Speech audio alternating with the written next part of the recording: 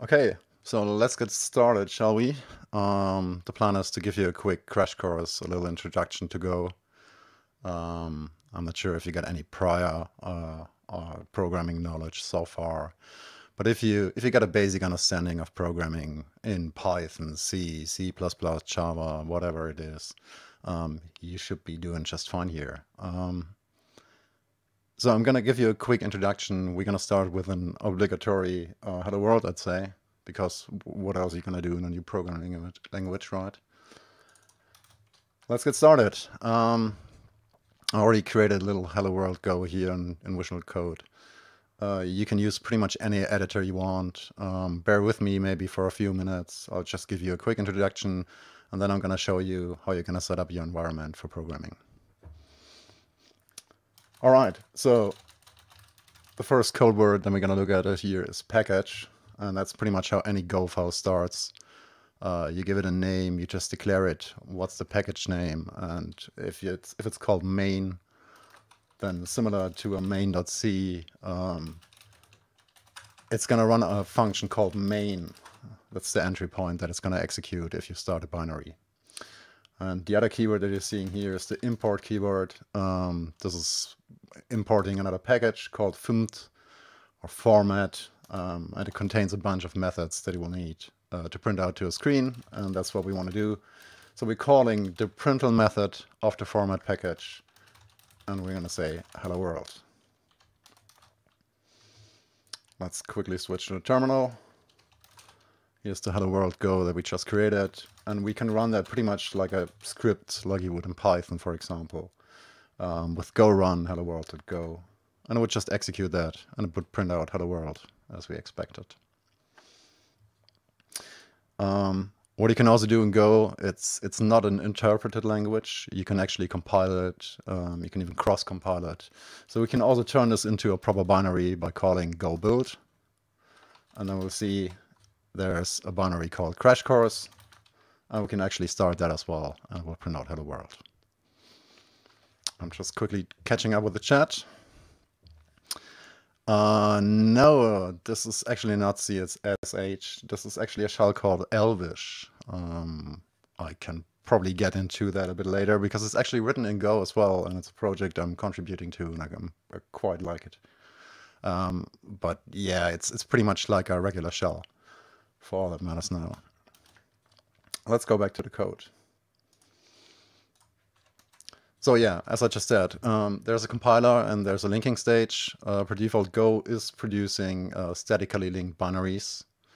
Um, and it's a type-safe language. You got pointers, but you got no pointer arithmetics. Um, it's garbage collected. We're going to get into that a bit later and it excels at a couple of things. Um, one of them is concurrency. So if you if you got multiple threads, if you want to do stuff, a lot of stuff in the background, calculations, rendering, whatever, um, Go uh, really excels at that. We're gonna get into that a bit later as well.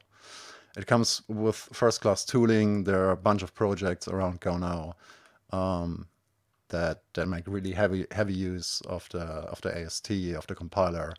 And so there's a perfect uh, tooling kit, uh, a linter, and, and, and, a bunch of other stuff that we're going to look at.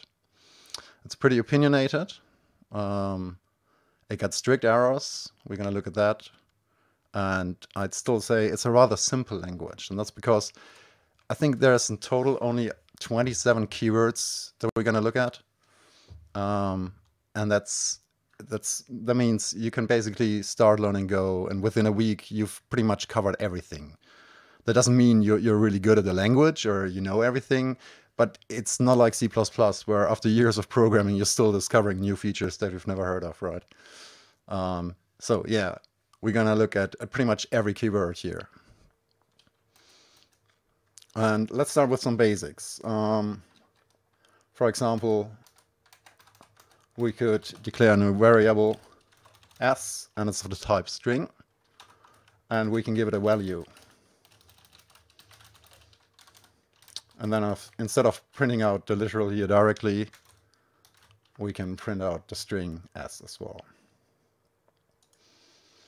Um, there's a different way you can do that. You can implicitly declare s as a string if you do it like that. Um, same goes for pretty much any type. So you could say, hey, I want a new integer called i uh, with a value of 0 or with a value of 42. And you could print that out as well. Let's just run that, because why not? Hello world 42.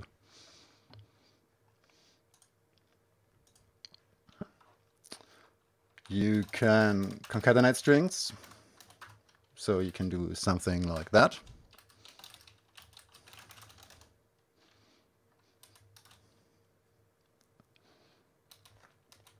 And of course you can you can do similar things with an integer again. So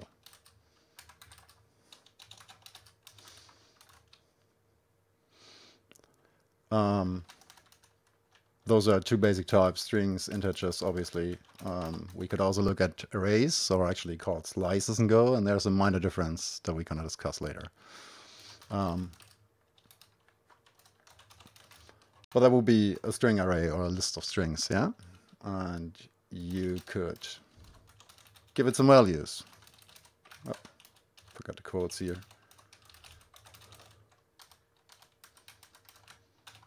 And we could also print that out.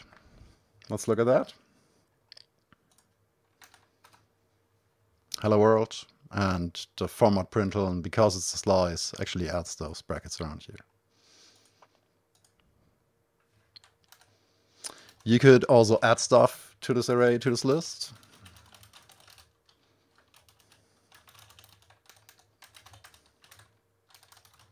For example, like that. And that's using the append method. And what it does here is um, you give it two parameters, the original list and whatever you want to append to it, and it returns a new list. And we're just going to override SL with a new content here. We could also do it like that. and assign this appended value to a new list called snew, that wouldn't change the original list called sl here. That would remain with the original uh, value of hello. And we can access the index of such an array, for example, like that. Um, that would only print out hello in that case.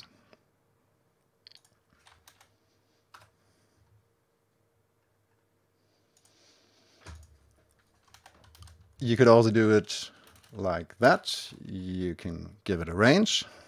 And then it will print out both values again. No, it actually doesn't. Sorry. Like that. And you can also say start from one and then until the end. All right. So those are some basics. I just mentioned that Go comes with a pretty strict error system. That actually means if I declare a variable, and then I'm never going to use it, the Go is actually going to complain and not run that. Let's have a look at that. Here it complains, x declared and not used. So let's actually use x again. In whatever way that, that will be, right? and it's happy with that again. And that at first you're really confused by that because that produces a bunch of errors um, where you're not used to seeing errors, especially when you're like refactoring code and you're moving stuff around and suddenly you, end up with unused variables and the code won't run anymore. But in the long run, you'll realize this is actually a great feature because um, it prevents you from collecting up unused variables that no one knows. Uh, are they still used? Are they actually doing anything? Um, and the compiler won't tell you about it. Obviously, in other languages, you get warnings, so you'd have to look at those warnings. But in Go, it actually treats uh, unused variables as strict errors already. So like in other languages, we're going to look at loops. And in Go, there's actually only one kind of loop, even though you can do pretty much with it. Um, so let's say we declare a new integer i with a value of 0. And we're going to execute the loop as long as i is smaller than 4. And we're going to increment i with every turn, with every iteration.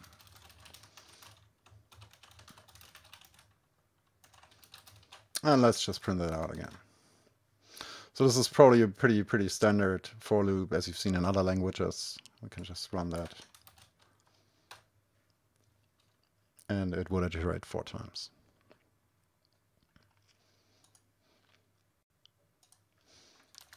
But you can also do it in the style of a while loop. So let's say we're going to declare i as 0, and we want to execute a loop as long as i, or while i is smaller than 3. Let's try that again. Actually, we should do something here. We should increment i, otherwise this will loop forever. And we're going to run it again. And we can see three iterations.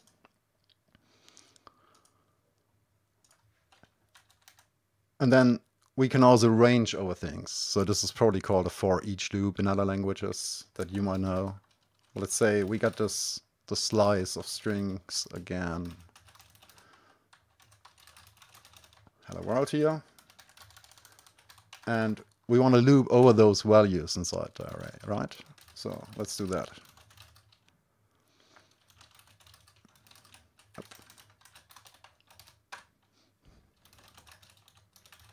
And let's use printf. You've probably seen it in other languages as well. And it got a pretty similar syntax as in C, for example. So what we do here is we declare an array with two values, uh, hello and world. We're going to range over that list. And for every iteration, we're getting two values declared, i and s. i is the current iteration number, so it starts with zero and then it goes to one, two, three, and so on. And S is the current value. So this would mean in the first iteration, we will get I equals zero and S equals hello, because that's the first item in the list. And in the second iteration, I would be one and S would be world. Let's just try that. And as we expected. So I'm just going to quickly catch up with the chat.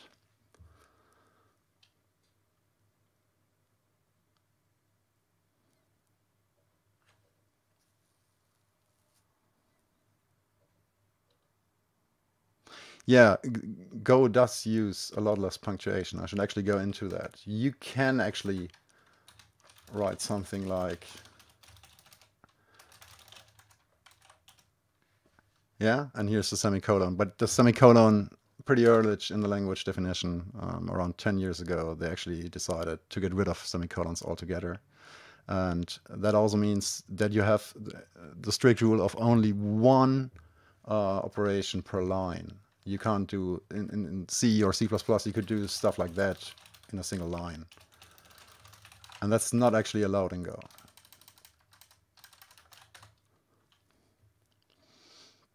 It also lacks the brackets, yes. Um, so if we if you look at the for here, in other languages, this would probably look something like sorry, like that and so on, right? It lacks those brackets as well. This also means if you'd write something like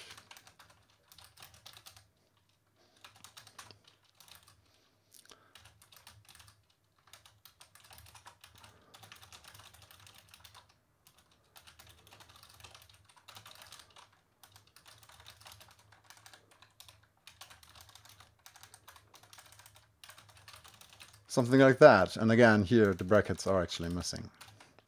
You can use them, it doesn't complain about that. And you can also do stuff like, yeah, you can do that.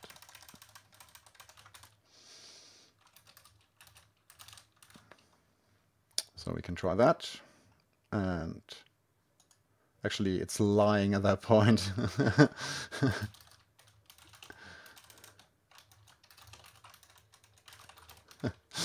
no, it's correct.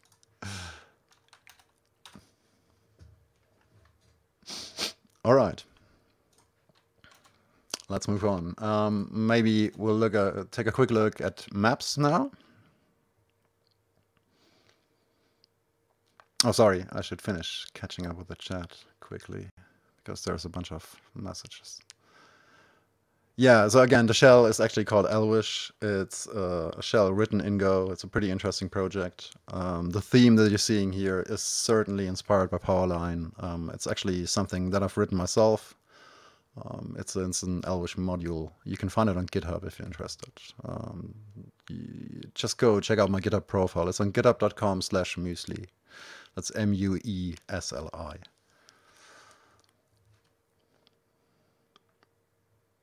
All right. So yeah, let's take a quick look at maps. Um, we can declare a map and reserve some memory for it by doing this here. This is just an example. Um, we, here we have a map with a type, with a key type uh, string and the value type integer. And you can already see Visual Code here is already complaining because I declared M and I'm not actually using it. So let's use it.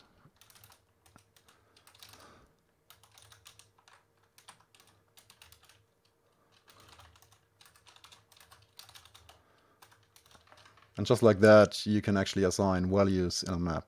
Um, so the key with the uh, name foo got a value of 1337 and the key with the, uh, with the name bar got a value of 42.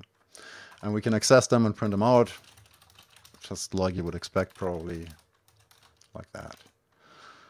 Um, you can also range over maps, just like we ranged over lists. So let's try that. You would do something like that here. And then for every iteration, you would have the key and the value set. Let's quickly print that out maybe.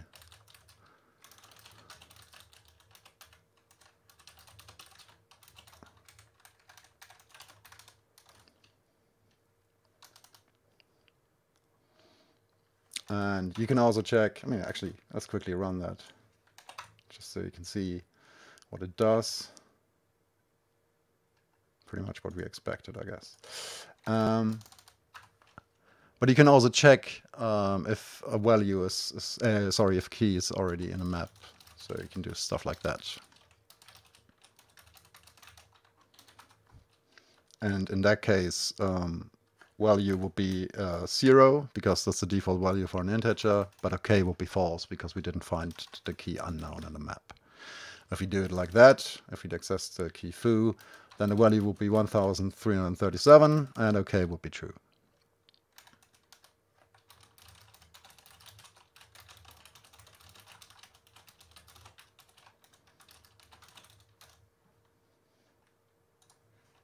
And let's try that out. Perfect.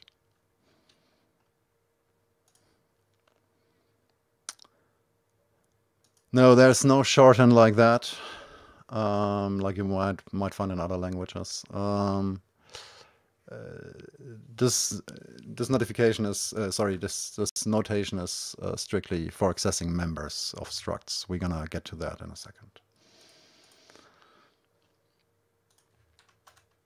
All right, and let's look at the method maybe. Out of the main, we're gonna write our own little method.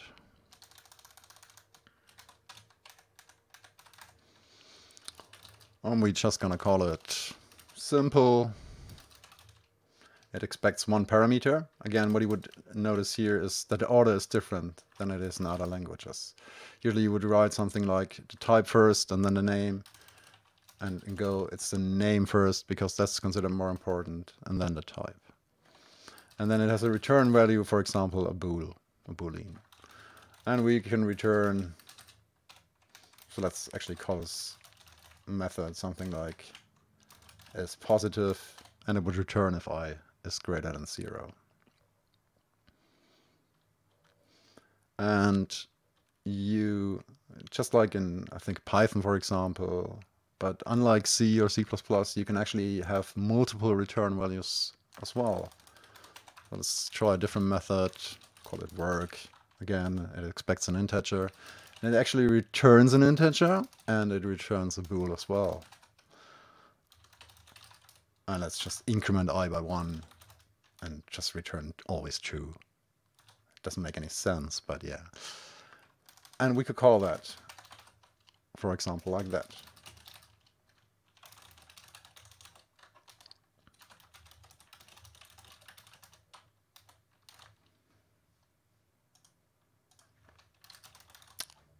Use OK as well, print out those two values. So we would expect to get this number incremented by 1 and true as the second return value. Let's print it out.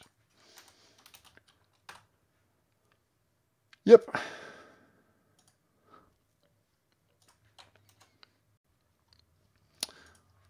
You can also declare functions just in line. So similar to the function that we just had, let's declare a function right here inside main and return i plus 1. Yeah, that's the incrementer function. Let's print that out. We can directly call it here. We gave it a name and we can pass it a value as it expects and print that out. And again, 1337.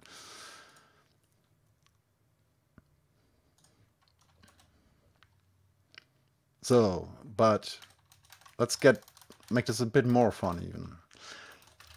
Um, a function is a first class value in Go. This actually means you can, just like we, we declared here, uh, a function in line, you can actually use functions and use them as return values, or we can expect them, a function as a parameter. So let's do a method called pickMath, and it picks a mathematic uh, algorithm or something, depending on the value that it passes in, and it returns that algorithm as a function. So here, this func int int, uh, the entire part that I selected here, this is actually our return value. Yeah? And the, this return value, this function, is expected to be returned by pickMath when we call it. So let's do that again once more. Um, we're gonna declare another method called increment again.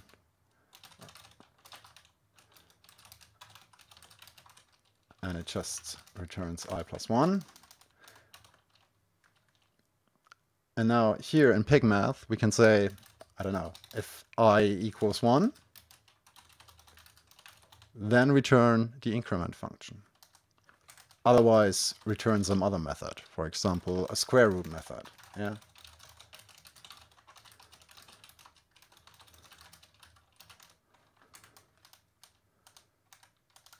So that would mean we can um, we can we can uh, call this method now pickMath and we pass it a 1 and we expect it to return the increment method here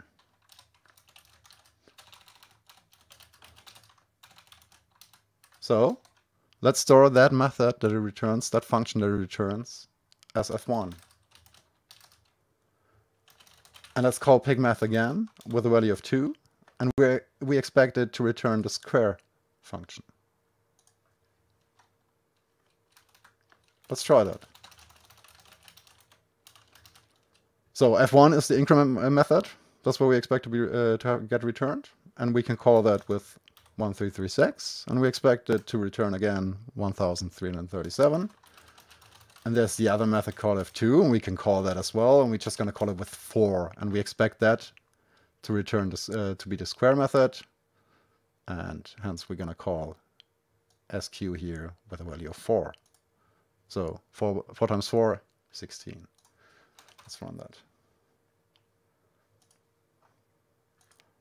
Actually, I should save it before I try to run that. Here we go. Yeah, um, so die a lot, a lot. um, yeah, certainly there are some. Uh, Go Go clearly has some predecessors, um, and it's borrowed from a lot of other languages. So certainly there are similarities to C, to Python. Um, there are similarities to Lua, but also to Java and, and C Sharp. Uh, we'll get to that in a, in a minute, maybe.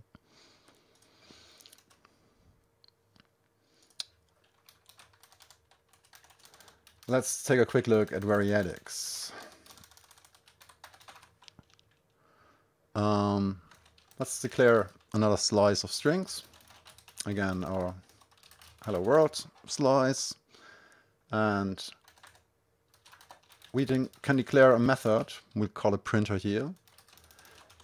And and it expects an undefined amount of strings. That's what dot dot dot string declares. So zero or many strings, we don't know. But inside here in this method, we can again treat it as a slice and range over it and print out every single one. And now we can call this printer and we could do it like that. And so on, yeah.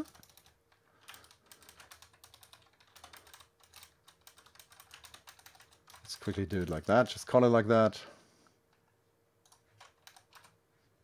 And it would receive both those strings as an array and it would uh, iterate over them and print out hello world. But there's another thing that we can do and that's the slice array here. We can use it in the other direction, sl dot dot dot. That means expand the string slice into single values that it will then pass on as a parameter to this method printer. So essentially what it does here is if I write it like that, it will do and so on and so on for all the values of SL. So those are the two ways to work with variadics. You can receive them as an array, an undefined amount of strings or uh, of integers or whatever it is, an undefined amount of, of functions if you want to. Um, and the other way is we can expand a slice just like that with dot dot dot. Let's take a look at structs. You've probably seen structs in other languages as well. We can, for example, declare our own type circle. And it's a struct, that means it contains other members, other values inside it. And obviously a struct got a radius, right? And we could imagine that we have another type, a rectangular, and it got a width and a height. Or we got a, a, a cuboid, And the cuboid actually has certain properties that the rect has as well, namely a width and a height. So we want to embed that, that rectangular, inside the cuboid. And we're going to extend it by another value, the length. Yeah? So embedding another struct inside a struct is essentially as if you would write it like that but you don't have to. And if I'd extend this here by, say, a name, then suddenly we would also have inside this cuboid a width, height, and a name. Quick question from the chat. Which data types uh, do exist by default? We can quickly go through them. You've probably heard all of, of all of them. There's a boolean, there's a string, there's an integer and an unsigned integer in various sizes. Uh, there are floats and complex values. Um, there are maps and there are channels. Channels we're going to get to in a, in a bit. And I think those are all the default data types.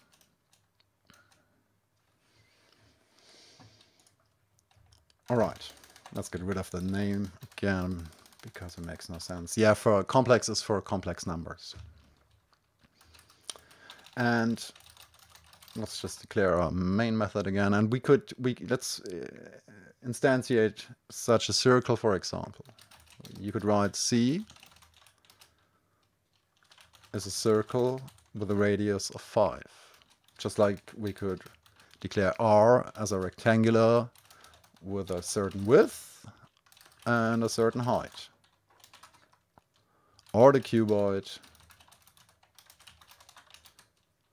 and here, we could declare it like that.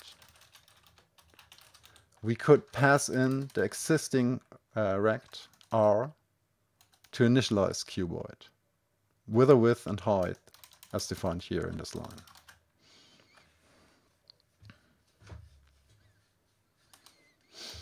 Yes, if you embed a struct into another struct, uh, you can access the members directly. Um, We'll, we'll get to that in a second, actually. because let's quickly finish this bigger picture here. Um, there's something else you can do with those structs. And that is, let's imagine you get a method and you wanna you wanna calculate um, the area of a circle.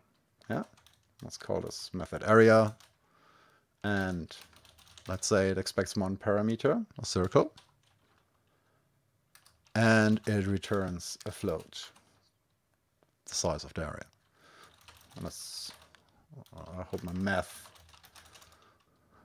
isn't playing any tricks on me, but that would essentially mean like that. I hope that's right. looks right to me. And we could call the method, obviously, and call area. And actually now we need a circle here. We're gonna pass C, the circle, to it, and we're gonna print out the size of the area. Let's quickly try that. And there's the size. But you'll quickly notice the rect will have uh, an area size as well, and the, the, cuboid, so does the cuboid, right? Um, and at that point it gets a bit nasty, because then you're going to write area circle and area rect and area cuboid. When you can actually do something much nicer, and that's instead of passing uh, C, uh, the circle here as the first parameter, we're gonna actually attach an area method to a struct, to a type. So we can write it like that.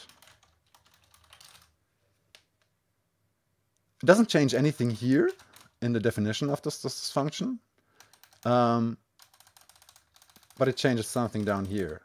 Now we can call area as a method of C just like that. And we'd get the same result, obviously. And similarly to that, you could imagine an area method for the rect, for the rectangular. And that's the width times the height. And we could print that as well, obviously.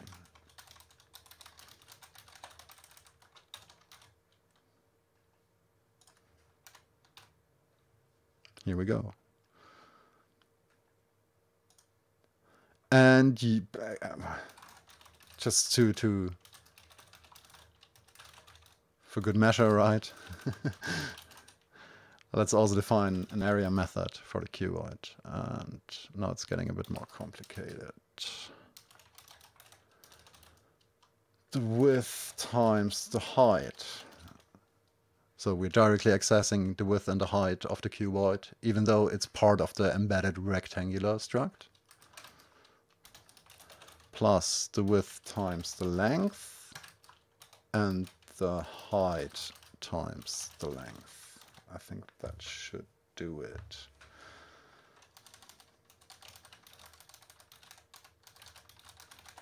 And let's print that out. Here we go.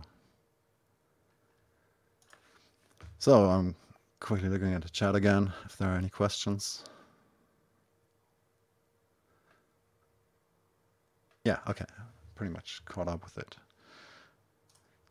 So, now, there's something that you probably might become aware of here. I've also mentioned it.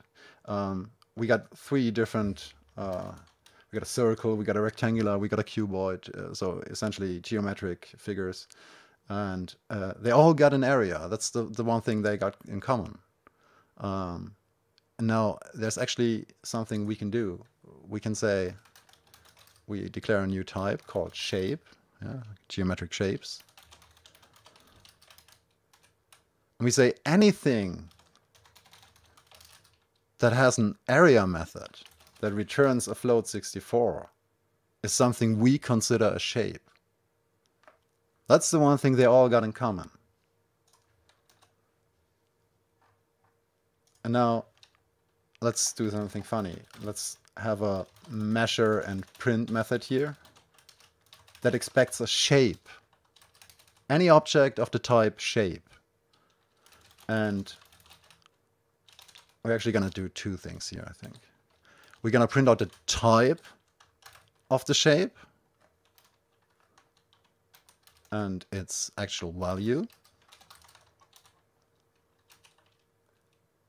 And since we said shapes have a, a, method called area that returns a float 64, we can also call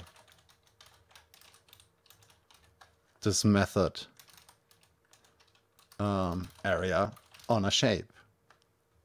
So now, how do you define those those interface types? The funny thing is, you don't do that. It's implicit. Anything that has a method area that returns a float 64 is considered a shape. So even though we got a circle, a rect, and a cuboid here, we can actually pass them as valid shapes to measure and print.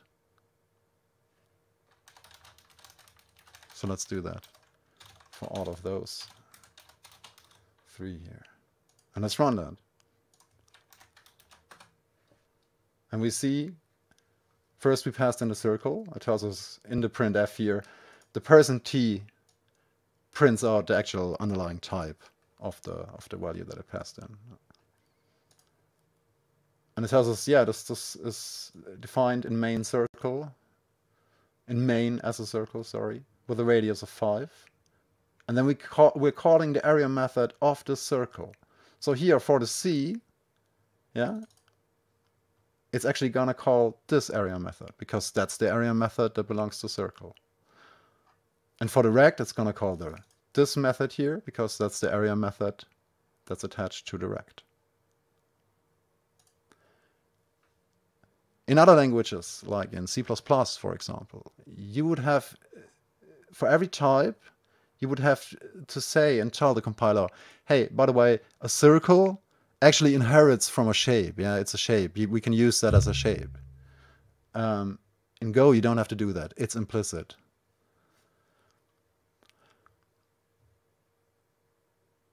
Yeah, Kuros, exactly. That's how you approach um, OO programming in Go and it, it it makes it super handy because even though you're, for example, you're depending on different packages that, that don't know about your types, you can still use them with your types because the, the inheritance is implicit. It doesn't need to know about it. It automatically fulfills those types, those interfaces.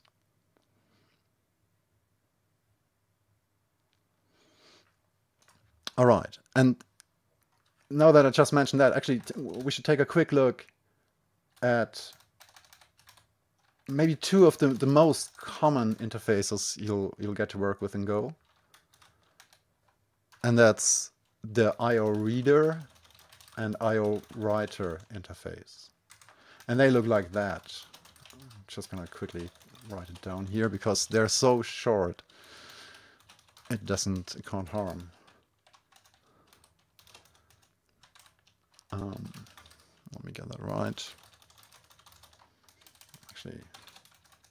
Let's keep it simple. That's the reader interface. So anything, any type that provides a method called read that can uh, read to a slice of bytes, basically a binary blob, yeah, and return an integer and an error is implicitly of the type reader. And the same goes for the type writer. Is also an interface. And any type that has a method called write that expects again a byte array. And again returns how many bytes it has written and if any error occurred is implicitly of of this of this type writer. And that makes it really easy to pipe together stuff like um, you're downloading from a network socket and it provides you such a read interface and you can you can just pass it on to any writer. Say you want to write to a tar file or a gzipped file uh, or you want to pass it on to another network socket. You can just pipe those two types together with those interfaces even though they don't know about each other. There's no inheritance no explicit inheritance going on. All right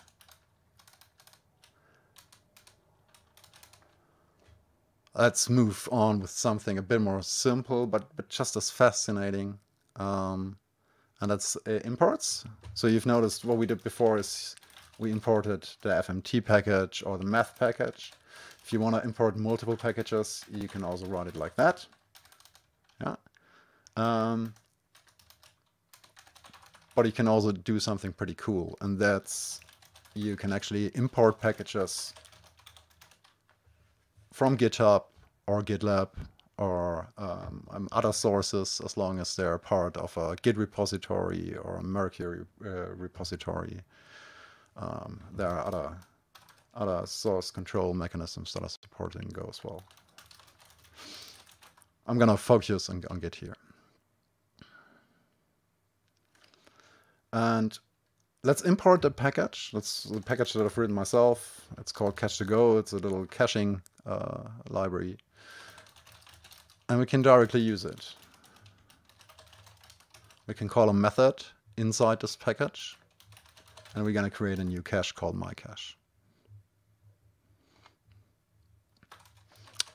And we could add a new value to this cache and we can tell it to only live there for a couple of seconds and then time out and get deleted uh, automatically.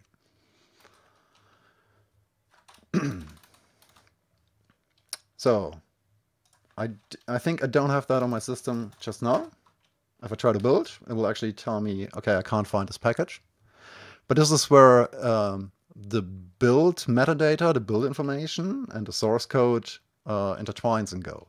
In other languages, you might have that separated. Yeah, you define the, the dependencies um, somewhere else, not not directly in the source code. Um, so in C++, it's pretty common. You have your actual project, your source code, and then the build system is a bit separate from that, um, uh, where you actually define all your dependencies, all the libraries you're looking for, uh, stuff like that. What we can do in Go here now is we can actually go go get, and it will analyze our source code and try to resolve all the dependencies that we need to compile this code. So we can call go get minus v uh, simply verbose, so it'll tell us what it's actually doing in the background. And you can see that it downloaded and installed uh, this Cache2Go library for us. And now we can actually build the code.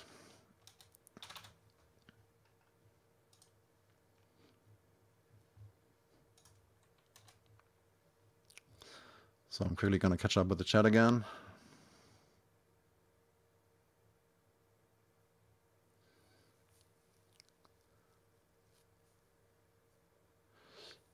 Yeah, um, so importing directly from web sources uh, sounds questionable to Sourdai a lot. A lot. Um, understandable. That was my first reaction actually as well.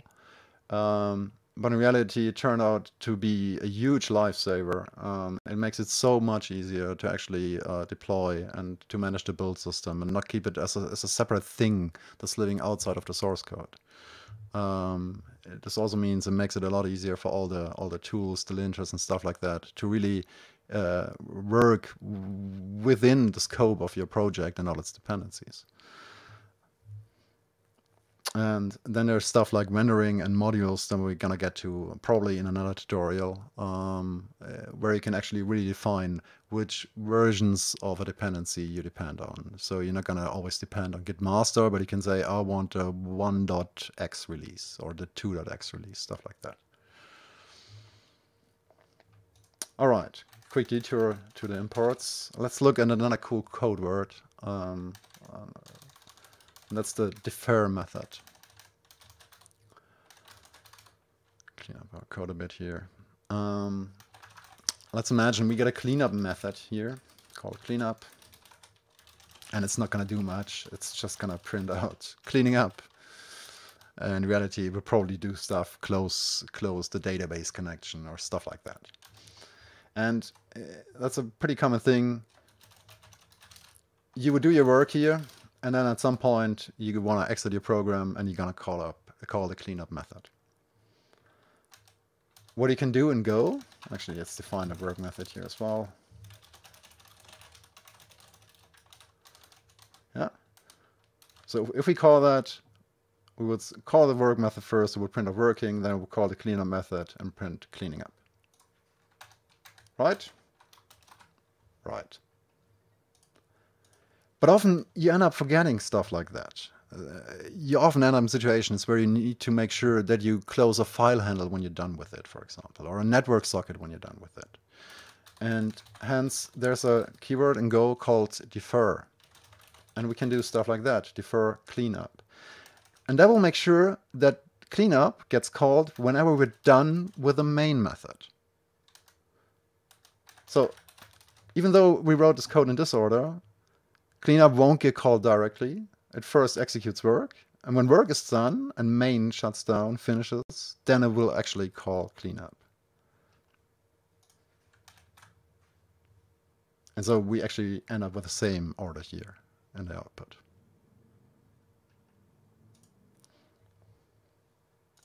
This is pretty handy. Um, this is super handy, as I just mentioned, for uh, taking care of, of file handles that you need to eventually close, database connections that you need to eventually close, stuff like that.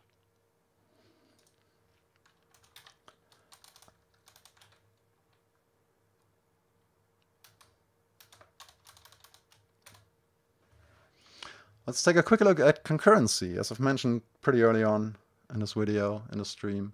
Uh, Go excels at concurrency in, in, many ways that other programming, programming languages don't do.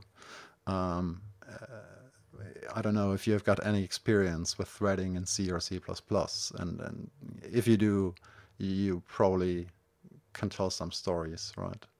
It can be a pretty painful experience, and Go tries to streamline that. Let's take a quick look at it say we got a work method, yeah? And expects a parameter i, type integer again. Let's quickly print that out. Working i. And then inside this method, we we're going to do some really heavy work, right? And we're going to simulate that by sleeping here. but in reality, we, we would do something uh, crazy intensive, CPU intensive, for example. We would render some stuff, or I don't know what we do. And we're just going to print out when we're done with it as well, so we know.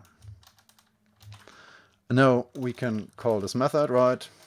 We give it, let's give it a value of 3, so it's actually going to sleep for about 3 seconds, printing out working before and work done afterwards. It did crazy in terms of stuff, as we can tell. so, but we actually want to move on with our life here in the code, and we want to do other other things in the background while we're waiting for the network, while we're rendering, while we're doing busy stuff. Um, what we can do in Go is we can call a method, uh, and we append it with Go as a keyword and what's happening now is that this method work three will be started in the background. It's I don't know if you if you know Bash, you've certainly seen it.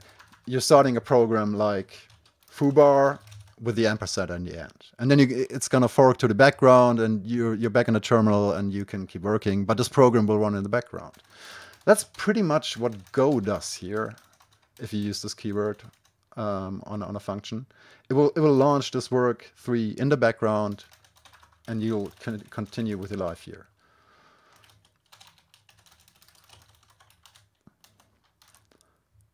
Trick question, what's going to happen if we actually run this now? Let's try it. It only prints out hello there. There's no working, there's no work done. What's going on here? So imagine work gets scheduled to be run in the background. It's not it's not gonna start at this very moment. It's scheduled to run in the background. It's first launching maybe another thread. It's it's gonna do that in the background for you, um, and then it's actually gonna call work. But we're so quick. We're just printing out hello there, and then main ends, and when main ends, the program ends. So the scheduler actually never got to the point where it managed to to start work. But uh, we can give it some time we can sleep here for five seconds, right? Just to make sure, if we are sleeping here for five seconds, then certainly the, the, the, the, scheduler would have had enough time to launch work for us in the background, and we should see some more. And certainly so we do. hello there starts up. We're working here for three seconds. We're done with the work. And after five seconds, the program shuts down again. Okay, let's make this a bit more interesting. Um, let's do it like that. We're declaring a for loop.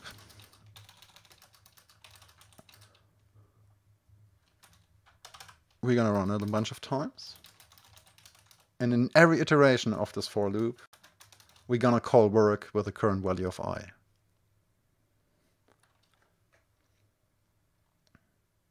Let's try that. So it's going to start up here. It's spawning four work methods as we'd expect. And you will actually see it certainly, it came here and in the first iteration it called work with a value of 1 and it scheduled that in the background. And so then it goes there and schedules work with the value of 2, 3, and 4. But they're not guaranteed to start up in that very order. It depends how busy your CPU cores are, for example. But it will launch them eventually, right?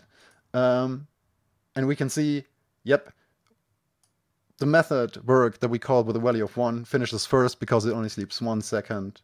With a value of 2, it sleeps 2 seconds, and so on. So they actually return in the correct order as expected.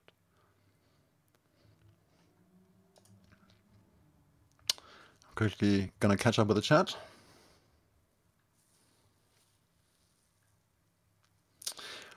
Sir Dialogue a lot uh, writes, weird that it just quits. Not really. That's that's pretty common in pretty much any any program language. If you're at the end of the main method, it's gonna actually actively uh, quit uh, your program even though there's maybe stuff uh, scheduled in the background, even when there are threads running in the background, they're just to get terminated at that point. And Fnord writes, can background methods return stuff? Yes, they can return stuff, not in a traditional way as a return value, but we're going to get to that in a second. Um, there's a concept and a type in Go called channels, and you're going to use that to communicate uh, with stuff, with, with methods running in the background. And yes, uh, Sir a lot, a lot. Uh, there's a way to, to wait for those background functions to come back to you. We're going to look at that as well.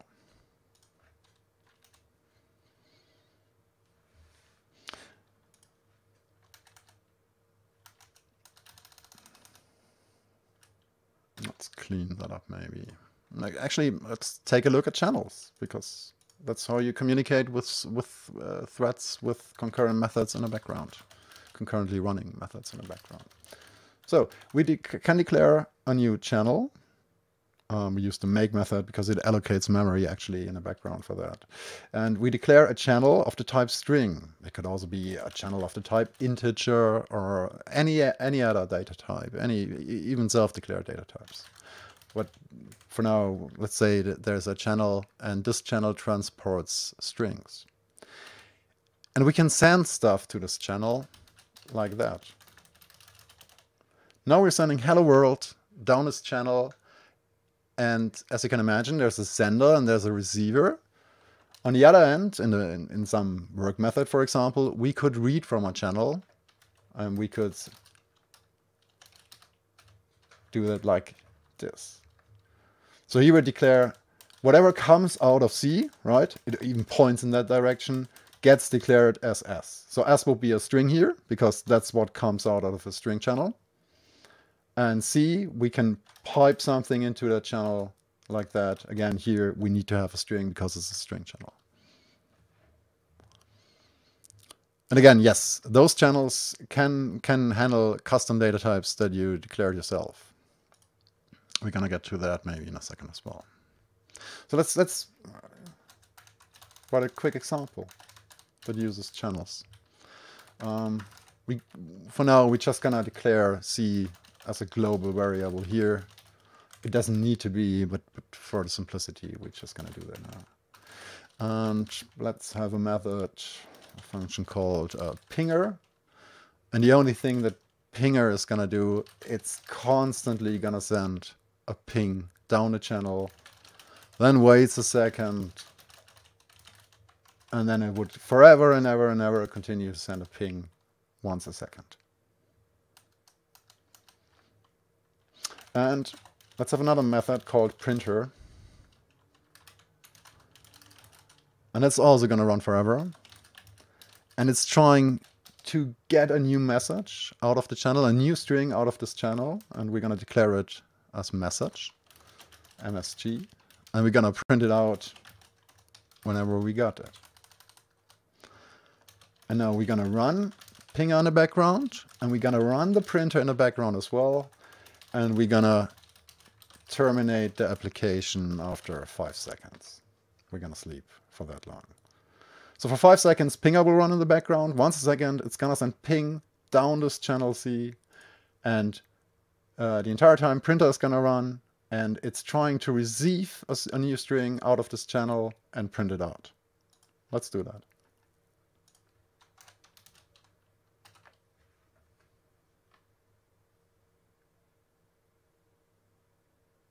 Are you surprised? I'm, I'm not sure if you are. No, probably not. That's exactly what we expected, right? Uh, we got two methods running in the background. One is sending a ping once a second. The other one's just sitting there waiting for a new message to come down this channel and print it out. And what you may have noticed at that point is this line here, line 19, it's gonna block and wait until there's a new uh, a new value coming from the channel it's going to wait here. It's going to sit and wait here. If there's nothing coming through this channel, it's going to wait here forever. But once it got a value, it's going to continue, and then we're going to wait for the next value.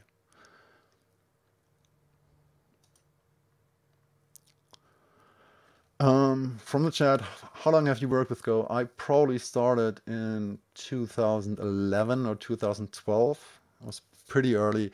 So the language, uh, I think they started development in 2009 and the earliest releases were in 2010 maybe. And pretty soon after that, um, I got intrigued by it and, and, by a bunch of its concepts. Um, and, and, mostly its simplicity, really. Uh, other than that, um, I got programming experience in C++ and C and Java and, and a lot of other languages for oh gosh, for, for almost, well, for almost 30 years now. Yeah.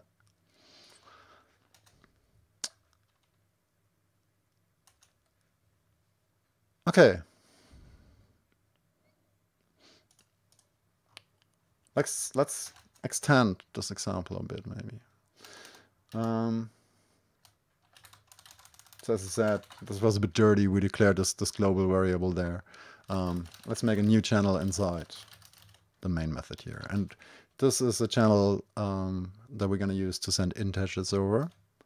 And we're going to call a method uh, Fibonacci. And we're going to pass this channel as a variable to it. And we'll have two worker methods. One printer, and we'll make a second printer. And we both pass channel C to it. And then again, we're going to keep this program running for five seconds. Let's actually declare those methods.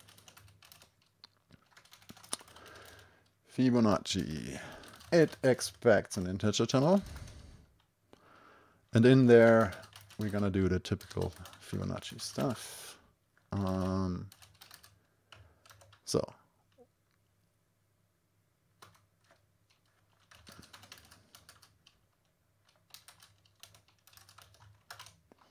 I'm going to explain those lines in a second.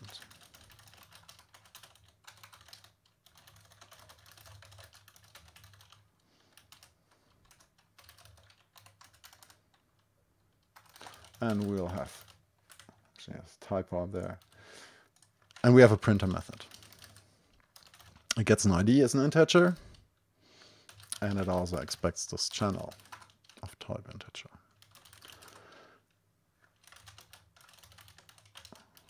And again, we're gonna print out whatever we get. First its ID maybe, and then whatever value it got. And we can write it like that as well. And we're gonna sleep here for a second.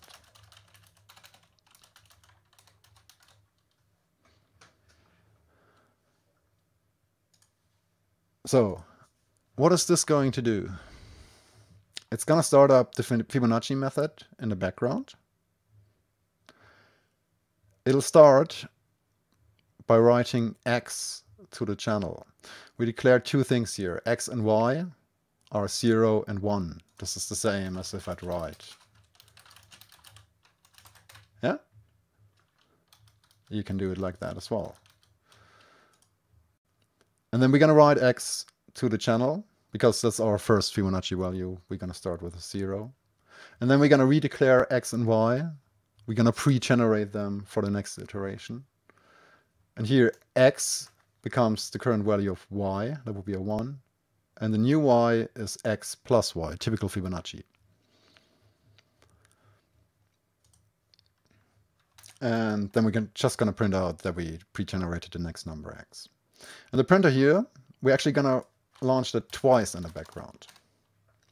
One, one printer got the ID 1, and the second one got the ID 2, obviously. And they both get this channel C. And they're gonna, forever and ever, they're gonna loop infinitely uh, and print out whatever the value they're retrieving out of this channel. And again, this here is just reading out of the channel. I could do it like like that as well, right? Maybe that's a bit, a little less confusing for you to begin with. And then we're gonna wait a second. Maybe it's it got to do some some some work again with this value that it retrieved from from the Fibonacci generator. Let's try that. Let's run that.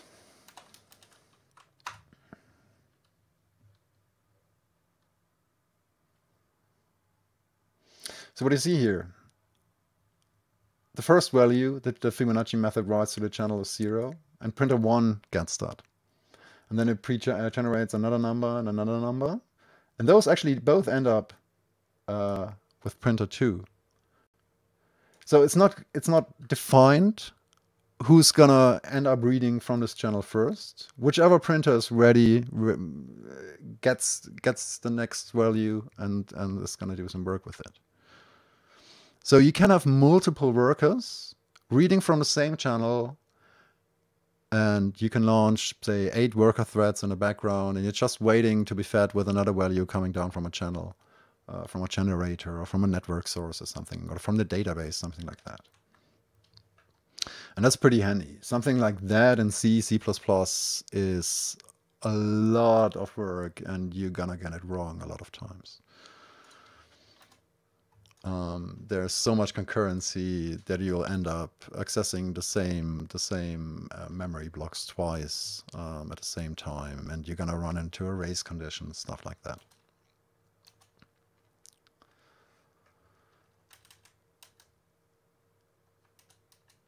Okay, I'm just gonna catch up with the chat once more.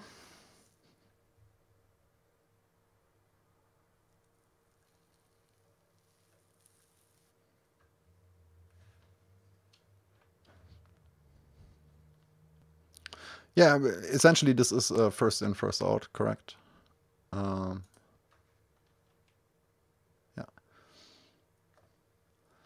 Can errors occur when we pipe from into the channel? Um, yes. So uh, there's one situation, if you're trying to read from a channel that's closed, and we, we're actually going to get to that in a second, you can close a channel. And by closing it, you can you can tell anyone who's reading from a channel, hey, I'm done with my work. I'm going to close it. There, don't expect any more values. And once it's closed, you can't actually write to it anymore. That would lead to a panic. And you can also check if a channel is closed or if it's still open. Um, you can do stuff like that. So let's use this, this channel concept and um, we're going to look at sorry, just one more question coming in on the channel. How is the channel capacity limited? Yes, uh, in this case, um, in the in the default here that I just showed, um, this would actually be an unbuffered channel. You could write to it and write to it. Um, but as long as there are, if you use this channel and you try to write to it, and there's already something still in this channel waiting to be read on the other side, this call is actually gonna block and wait. And this is actually pretty handy because this means if you're generating a lot of stuff, you don't want to go on generating stuff forever. You actually want to wait for, for, the for the worker threads to become ready for someone else to pick up new work. Um, yeah. Craft AMAP asks, is there a method to get all elements elements queued in a channel? Well, you could just simply keep reading from it. Um, uh, you can even range over a channel. So uh, if I got this channel, I'm just gonna quickly change this, uh, this here. Um, you could do something like um,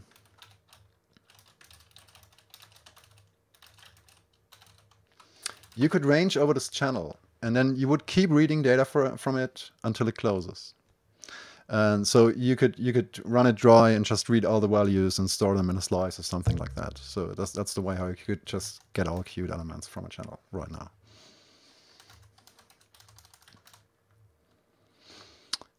Let's so basically what i was just getting to here is a bit of a flow control where you where you can control how the data is running through your program. And let's actually take a closer look at that maybe. Um,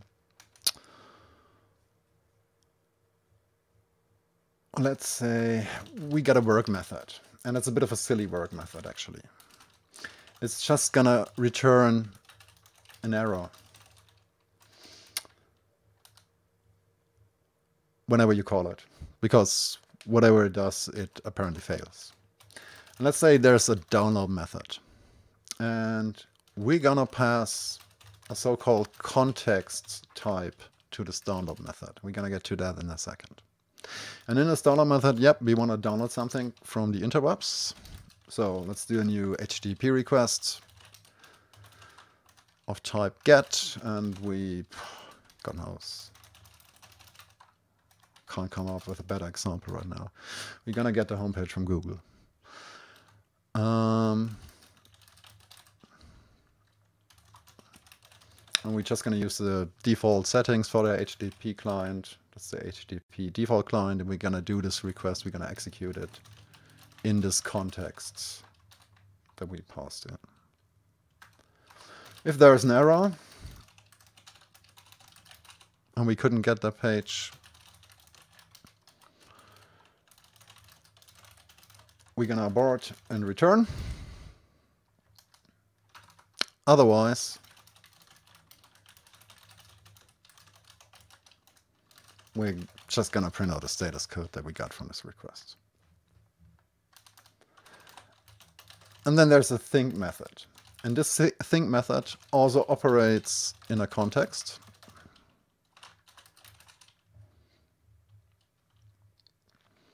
And here we're going to learn something new. And that's the select keyword. And in a select, we got two cases. The first case is when we read something from a channel that the time.after method provides. And this time.after is a function that returns a channel to us. And it will essentially wait for two seconds here, if we call it like that, and then it will close the channel that it provided to us. So we can say here, that's the first case. When we read something from time after, and we're just going to print out, oh yeah, we're, we're done thinking now. Um, and the second case is going to be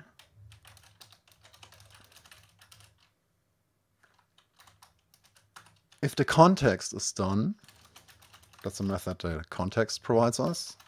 We're going to abort thinking more. Contrived example, I'm sorry, can't come up with anything better than that right now. Um, again, catching up with the chat quickly, you don't even need to import anything for HTTP. Actually, I do. I'm sorry. What happens here is uh, that the Go tools will automatically detect that I need a package called HTTP and I didn't import it. So it will it will guess the, the right package here and that's net slash HTTP and, and import that for us automatically. So if I remove that here and I press save here in my editor again, and will actually read add that for us because that's how I set up Visual Code. You can do the same thing in, in Vim, in, in any other editor, because this isn't a feature of Visual Code, really. This is something that the Go uh, tools provide you. Um, they will analyze your source code as the compiler would, um, uh, analyze the syntax tree, figure out any errors, and uh, they actually are able to correct them for you. So I I don't use that too much, but for for imports I actually do it because it saves me from typing this import over and over again.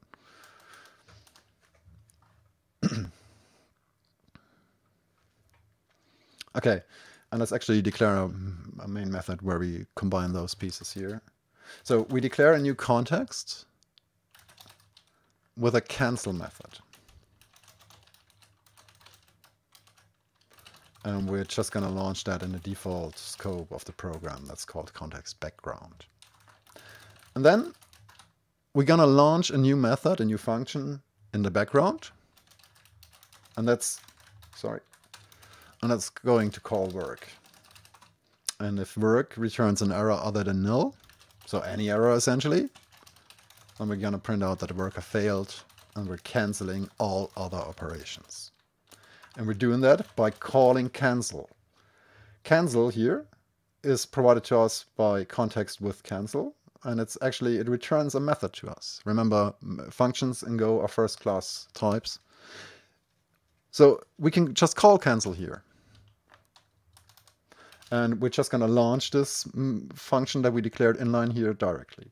So this is this will be the same as if I write, if I take this function here, Oops, sorry.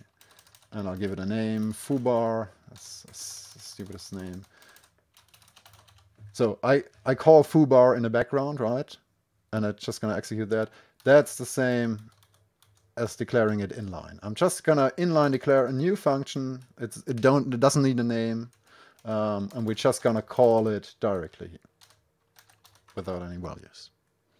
And then also in the background, we're to start the download operation and the so-called thinking operation. And again, because everything's running in the background here, we're to do give it a little time to execute. So what's happening here? We're declaring a new context. With this context, we can actually um, control the flow of the download and the think method. They both get passed in the same context. They're both going to operate on the same context. And the think method, after two seconds, it'll it'll reach time after, and it's it prints out done thinking, and it's gonna return this method. It's done with this method, unless context done gets called first. At that point, it goes, oh, okay, the context is done. I need to abort thinking. Something something else happened in the background. And this is pieced together here with this download method that tries to get get uh, to get the homepage from Google um, and it's going to execute that in the same context. And if there's an error, it's going to abort downloading. And let's see how that works out if we're going to call it.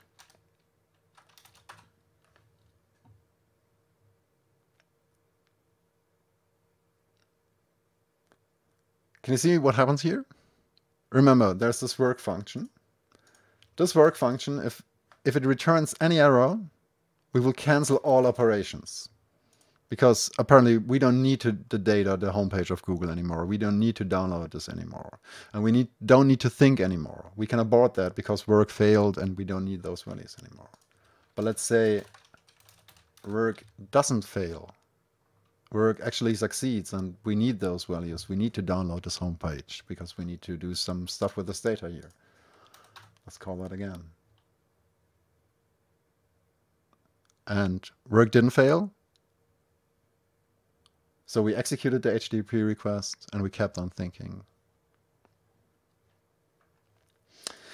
So lot, a lot mentioned this is pretty confusing. I'm sorry, yeah, flow control is is is confusing. Um, how can I do a better job of explaining this here? Um, So essentially, we want to run two things, or it's actually just start with one thing. Maybe that makes it a little less confusing.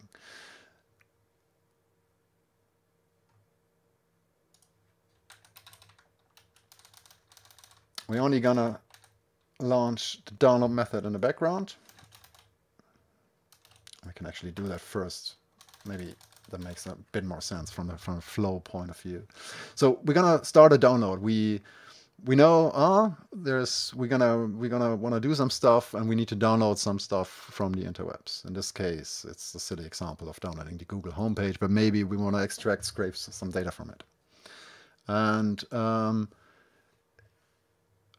this work method here, this could be uh, a new HTTP connection, uh, incoming HTTP connection to us, or this could be some database operation or something like that.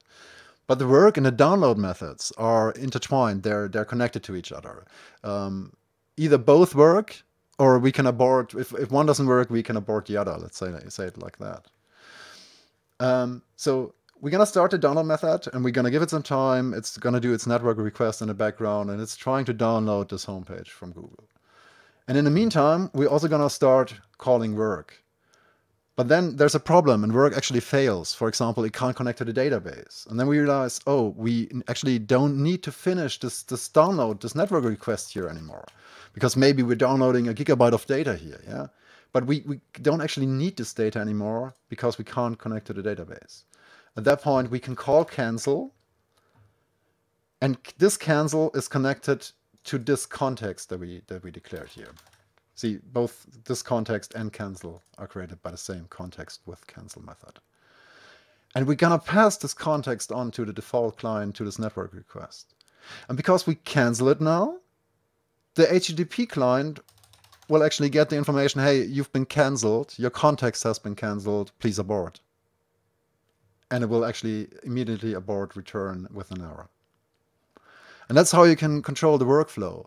Um, you don't have to download the entire gigabyte of data if you already know you're not going to need it in the end. Uh, if you already know the incoming HTTP connection has died and whatever work you have, you've been given um, is actually not needed anymore.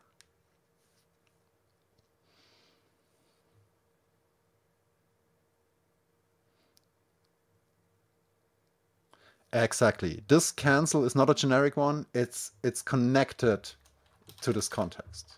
Yeah. And you could call, call it, or we call this work context, and we call it work cancel. Yeah. And then obviously you would pass on work context here, and you would call work cancel here. So this is not not a generic name. Um, this is something that we just defined here.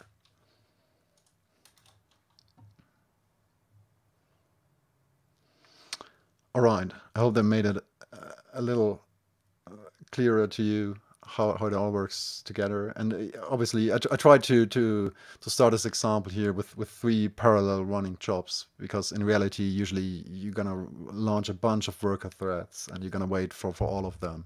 And then one of them fails and you have to abort all, all those other worker threads. Yeah, those contexts are pretty amazing, and you you you will uh, see that you can usually use them in context with anything that you typically launch in the background, like a database request. They got contexts. The HTTP requests got contexts, um, uh, and maybe your own stuff got context, and you're gonna abort it um, if you don't need it anymore. Okay, let's get back to some more real world stuff maybe before we're gonna finish up for today. Um, what you'll do a lot probably nowadays is JSON encoding and decoding. So I feel like I should give you a simple example how you can uh, decode some JSON that you retrieved uh, online. So let's say maybe um, we'll do a request. We'll do a simple one. We don't need context or anything here. So we can just call HTTP GET. We're going to get something from, uh, uh I think it's called IP API com slash JSON. So what it actually returns is your own IP address and uh, stuff like your geolocation information and stuff like that. Um, and we're going to use the defer method that I showed you before. And we're going to tell it this HTTP request returns a new body which is a reader, and we will have to close this. This is a network operation. We have to tell it when it's once it's finished, when it can close its sockets and stuff like that. So we're gonna tell it, hey, whenever this main method finishes, um, make sure to call response body close, so we can't forget it later on. And that's pretty handy because those two lines are right next to each other. Yeah, um, it's it's not like the close is it's 30 lines down the code after a bunch of for loops and whatever, and eventually you're just gonna forget it, and you're not you don't know how it's related to to to opening anymore. Usually you open and then you write defer close right after that and uh, this will give us a, a, JSON response. We're just gonna call the JSON response and we declare that as our own type. Um, it's a struct that has a bunch of members like the country, uh, the city they're, they're returning, I think, and even the ISP they're guessing that you're using. And yeah, we just gonna uh, declare j as our own struct JSON response, and then we're gonna decode into that. So we we got a JSON decoder that expects uh, a reader where it can read from, and that's the response body. It could also be a file on our disk, for example. Remember, those interfaces are pretty handy. It, it doesn't really depend on knowing if, if this stuff comes from HTTP, if it comes from FTP or your local disk. Um, you're just going to pass it a reader. And since this returned uh, request got a read method, it will fit this interface, and we can use it with a JSON decoder and we're gonna decode it into J. And here I'm passing it the address of J in memory, so it can actually override data in our JSON response here. And then we're just gonna print out whatever returned. Mm.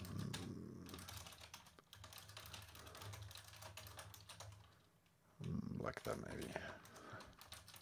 So we're gonna print out the city, the country, and the ISP it guests.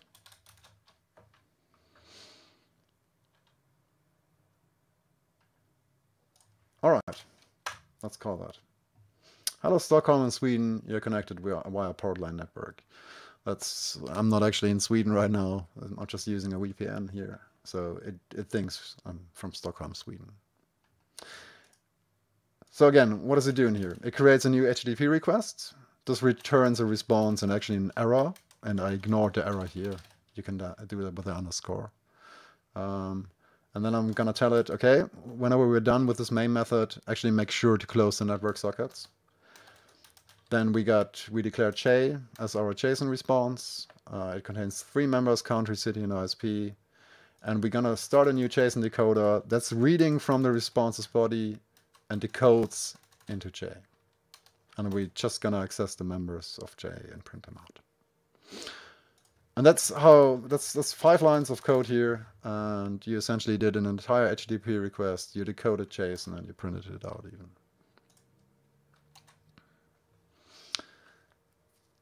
So let's look at the other th side of things. I don't know how many of you are writing little microservices nowadays. Uh, basically, where you end up writing a little process that's um, uh, like a web server, uh, a RESTful API in itself. Um, sorry, I'm just stopping here for a second because there's something coming in in the chat. How you how do you handle errors in the decoded data? So this uh, decoder that we just used here, it actually would return and uh, give us an error. Um, here, this the decode method uh, returns an error. So if something, if the decoding failed for whatever reason, I could just get an error here and I could check for the error. I could print it out, do whatever with it.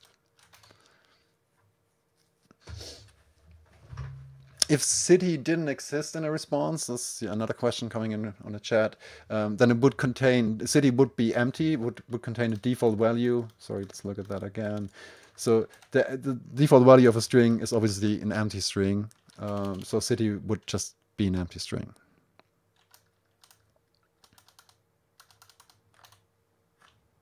I hope I understood that question correctly. So yeah, let's let's take a look at the other side of things. If you're writing your own little microservice, your your RESTful JSON API, stuff like that, um, you usually end up um, connecting it, connecting your own little program with Apache or Nginx, stuff like that. But you could also write your own little web server, your own little Apache in Go if you wanted to.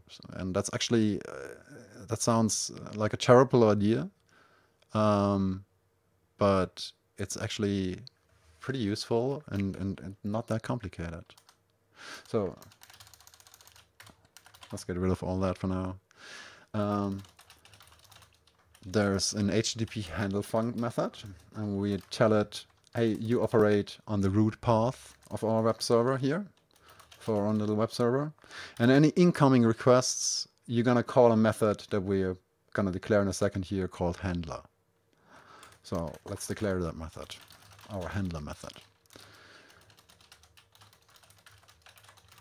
There's an HTTP response writer, and there's an HTTP request that we expect as parameters. And whenever we call, we first of all, we're going to print out that we're busy serving a request right now. And then we're going to write to that writer with the fprintf method. You've probably seen it in other languages before.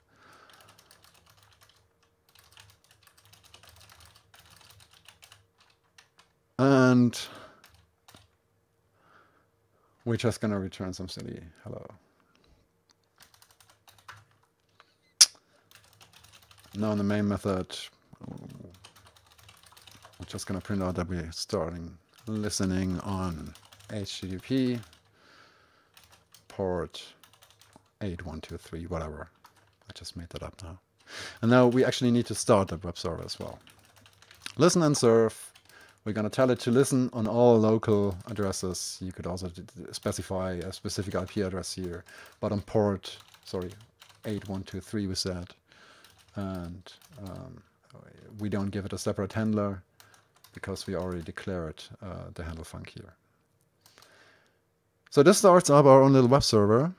Um, listens on port 8123.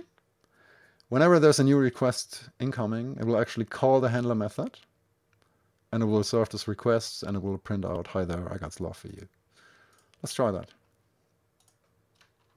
So we're going to start up the web server here. We're going to listen. Let's open up a new terminal. And increase the font a bit maybe. So, and let's just use curl to try and get something from it. And indeed, it returns, hi there, I got love for you. And we'll see in the other terminal that it actually received the requests and started serving. So this is your own little web server in uh, about 18 lines of code, not even 17. Um, this is actually this is going to execute all incoming requests in a in a multi-threaded fashion. It's going to call those handler methods in the background for you. Um, you we could we could run a little worker benchmark or something right now uh, if we if we feel like it, and you you uh, achieve like crazy amounts of, of requests per second you could serve with that. Um, and let's actually get a bit more serious because nowadays you need TLS certificates, right?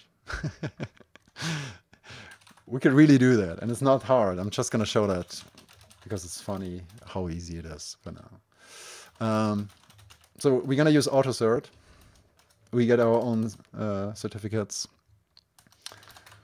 get rid of that here. Um, that's pretty much the same. Um, yep, we're gonna serve as well. Actually, let's do it like that. So we're gonna create a new AutoCert manager. We tell it to accept the uh, terms and conditions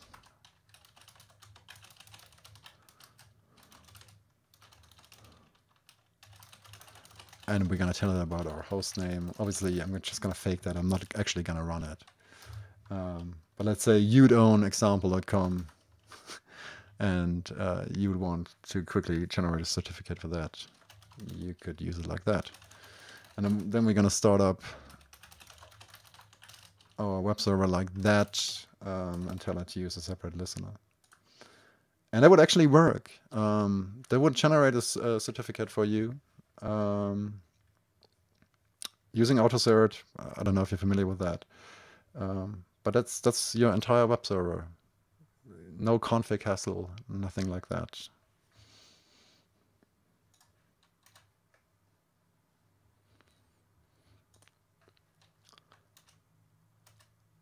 All right, so that's been an hour and 30 of, of a quick Go introduction.